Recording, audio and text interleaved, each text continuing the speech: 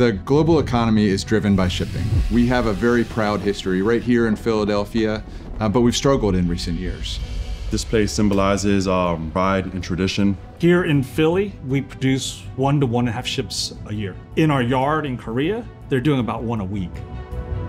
한화오션에서는 세계 최초, 세계 최대 이런 이제 선박을 많이 어, 건조를 하고 있습니다. Philly Shipyard has a legacy, Hanwha Ocean being the leading shipyard in the world with the latest technology. The two of those bring the strength to revitalize shipbuilding in the United States. 실제로 이제 LNG를 건조를 하려면은 다른 배들보다는 좀 더 정교한 정교 겨- 견조 기술이 필요하고 Those ships, even if you wanted to build in the US, you could not.